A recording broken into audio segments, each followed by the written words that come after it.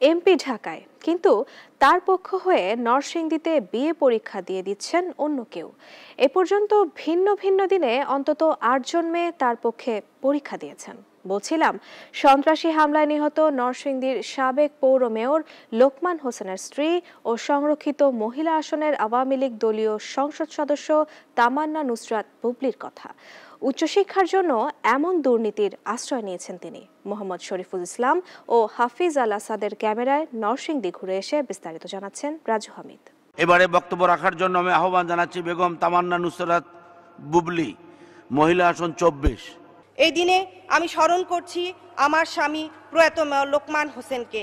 দুহাজার এগারো সালের পহেলা নভেম্বর সন্ত্রাসীরা তাকে নির্মমভাবে হত্যা করেছিল। সংরক্ষিত সংসদ সদস্য তামান্না নুসরাত বুবলি। একাদশ সংসদ নির্বাচনের আগে হলফনামায় দেয়া তথ্য অনুযায়ী তার শিক্ষাগত যোগ্যতা এইচএসসি পাস। সন্ত্রাসী হামলায় নিহত নরসিংদীর সাবেক পৌর মেয়র লোকমান হোসেনের স্ত্রী তিনি।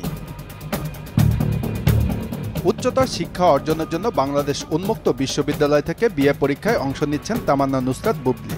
সবই ঠিক ছিল, কিন্তু এই সংসদ সদস্য বিএ পরীক্ষায় সশরীরে অংশ না নিয়ে আশ্রয় নিয়েছেন দুর্নীতির।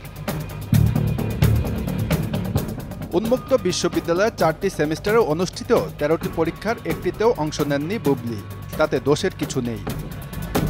কিন্তু পরীক্ষার হলে সংসদ সদস্য বুবলিকে নয় পাওয়া গেল অন্য কাউকে যিনি সংসদ সদস্যর হয়ে পরীক্ষা দিয়ে দিচ্ছিলেন। আপনার নামটা কি? তামান্না নুসরত বুবলি। বুবলি? তামান্না নুসরত। তামান্না নুসরাত বুবলি আপনার জি নাম? জি। আপনি কি কনফার্ম আপনার ন্যাশনাল আইডি কার্ড আছে? হ্যাঁ আছে বাট নিয়ে আসি নাই। তামান্না নুসরাত বুবলি তো একজন সংসদ সদস্য। জি উনি।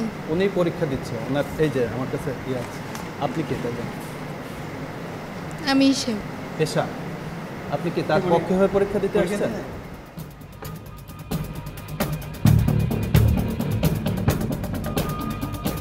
এই দুর্নীতির আশ্রয় নিতে পরীক্ষার আইডি কার্ড হারিয়ে গেছে বলে থানায় সাধারণ ডায়েরি করেন বুবলি। আমি আপনাকে এত কথা বলতে পারব না। কেমন এটা ধরে রাখছেন কেন? সরান না। সবাই সবকিছু জানতো। কিন্তু এমপির ভয়ে সবাই ছিল চোখ বন্ধ করে। আপনারা কি মহিলা সংসদ সদস্য তামান্না নুসরাত বুবলিকে চিনেন? আপনার পাশে কখনো পরীক্ষা দিয়েছে? না।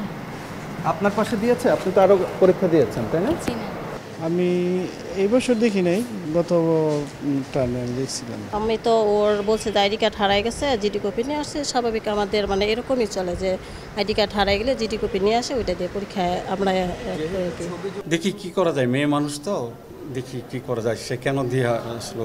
শুক্রবার বিকেলে পরীক্ষা চলাকালে নাগরিক টিমের কাছে হাতে নাতে ধরা পড়েন প্রক্সি দিতে আসা ওই নারী। তাকে পরীক্ষার হল থেকে ছাড়িয়ে নিয়ে যান এমপির এপিএস ও ভাগিনা এ বিষয়ে সংসদ সদস্যর বক্তব্য জানতে কয়েকবার মুঠোফোনে যোগাযোগ করা হলেও তিনি ফোন ধরেননি। পরে পরিচয় জানিয়ে মুঠোফোনে এস এম এস করলে এমপির পক্ষে একজন ফোন করেন নাগরিক টিভির বার্তা কক্ষের ফোনে। তখনও সংসদ সদস্য নিজে কথা বলেননি। এটা নুসরাত আপার নাম্বার না? আমি নাগরিক টেলিভিশন থেকে বলছিলাম। বিষয়টি ধামাচাপা দিতে দিনভর চলে নানা দেন দরবার রাজু হামিদ নাগরিক ঢাকা।